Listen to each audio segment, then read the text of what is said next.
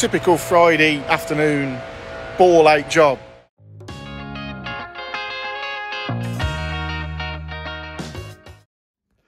So we've got the water turned off, undone the cap off there, took the screw out. So this will just pull off.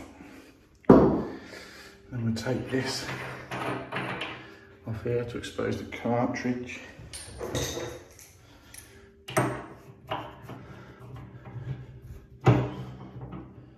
Some of them are a bit tight.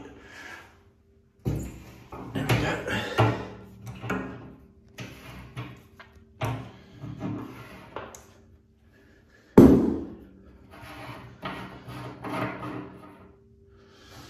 And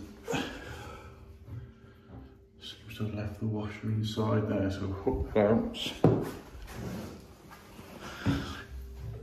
Otherwise it won't see right.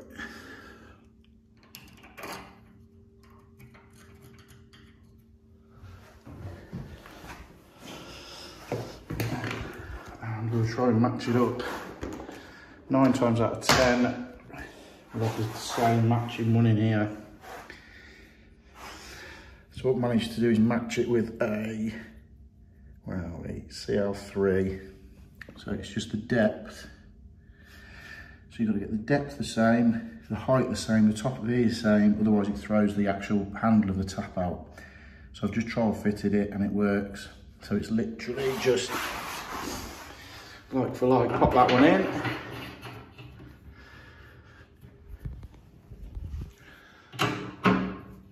Tighten it in.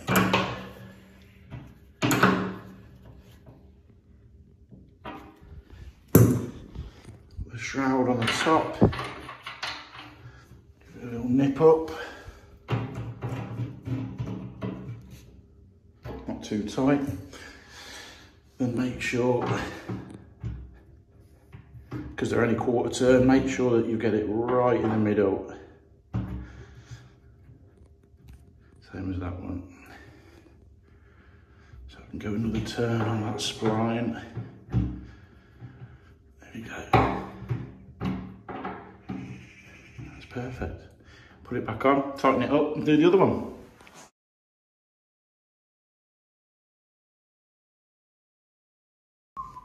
So we've got a client with a constant dripping head. Um, so what we're gonna do is take the, the shower off and we've got a replacement valve. So we're gonna put the new valve in it and go from there. So we've got the water off already. Completely drain it down.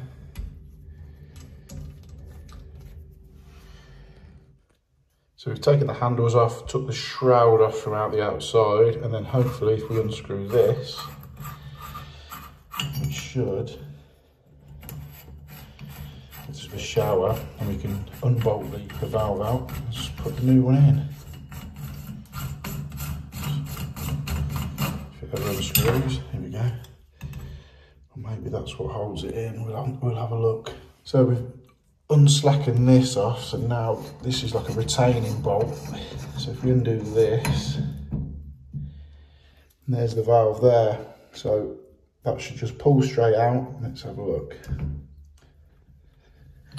So yeah so with a little persuasion and a head full of water that valve just comes straight out.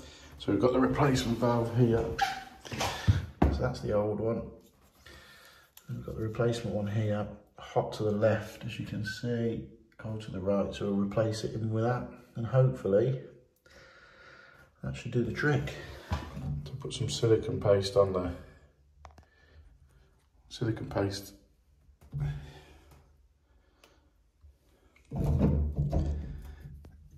I've got the valve back in, got the valve back in.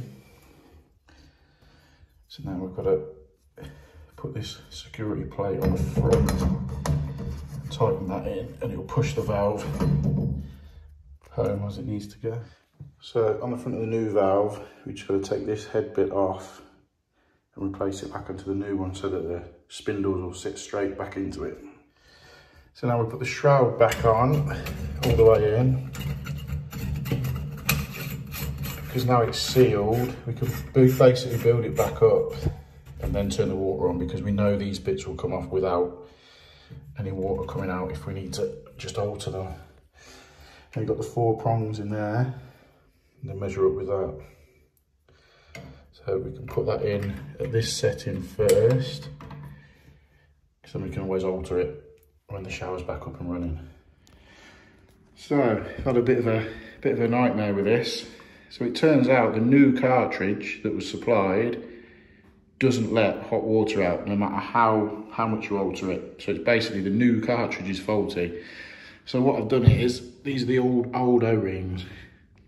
So because it was passing, I took the old cartridge, took the old O-rings off, put the new O-rings off this cartridge onto the old one, because we know the old cartridge worked, refitted it, and all's well. So it just turns out that the new one that the client had bought wasn't working. Typical Friday afternoon ball ache job. Go to do a shower for someone, they supplied the shower valve, take it all out, put the new one in, doesn't work, hot's not working. So you have to take it all back out, put the old one back in, that one's now leaking. Oh, how annoying. The client's now ordered a new valve to be fitted when it arrives. Just really pisses you off.